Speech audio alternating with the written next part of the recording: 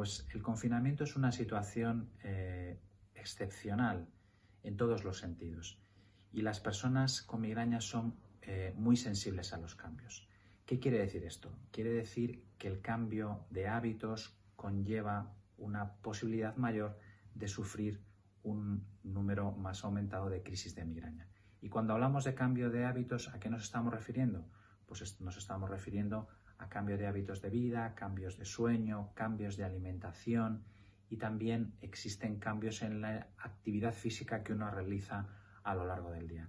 Si a todos estos cambios en los hábitos de vida le unimos la preocupación por toda esta enfermedad que se está generando, la preocupación porque nuestros familiares, nuestros amigos o nosotros mismos podamos contraer la enfermedad, pues probablemente es un caldo de cultivo para que en una persona con migrañas sus crisis eh, aumentan. ¿Cómo podríamos evitarlo? Pues tratando dentro de lo posible de mantener eh, una vida lo más regular posible.